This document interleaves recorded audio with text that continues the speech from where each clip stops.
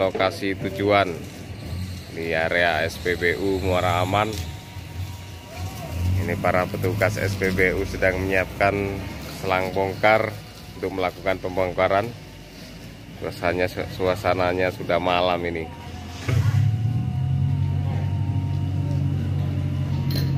Di area Muara Aman ini SPBU-nya cuma ada satu-satunya di SPBU inilah belum ada SPBU yang lain. Khusus di Kabupaten Lebong. Ya nah itu kantor. Nah, perlu juga tahu SPBU Muara Aman ini salah satu cuma ada satu-satunya SPBU di Kabupaten Lebong. Jadi belum ada SPBU yang lainnya cuma ada satu pertasop itu di dekat bendungan PES PLTA ada satu pertasop di sana. Kalau untuk SPBU khusus hanya ada baru ada di sini. Belum ada yang di tempat lain.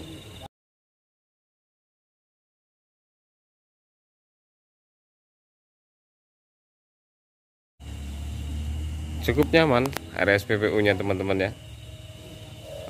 Seperti ini ada ada kolam yang di belakang. Kalau yang hobi mancing nih biasanya kawan-kawan nih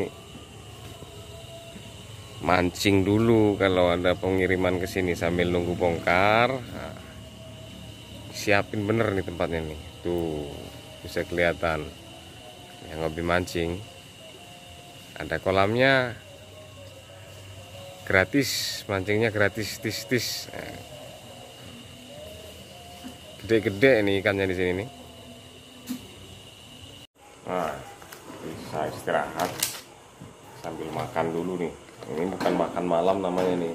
Ini namanya makan nasi goreng. Alhamdulillah.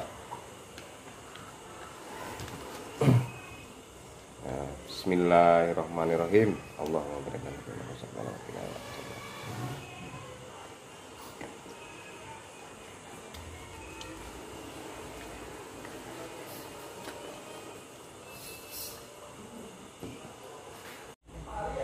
Halo teman-teman semua.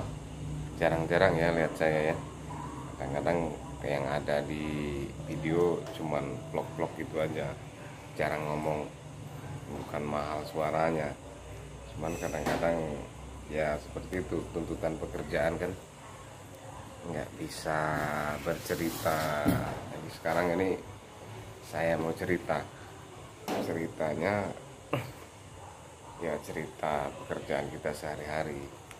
Jadi siang tadi saya sudah mengantar BBM itu dengan jarak tempuh 74 km kita kalikan dua.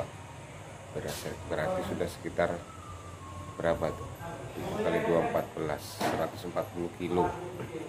Nah, yang sekarang yang saya antar ini di daerah Muara Aman jarak tempuh satu kali jalan 174 kilo kita kalikan dua lagi. Jadi total jarak tempuhnya itu sudah ratusan kilo. Malam ntar pulangnya sampai sampai ke rumah malam.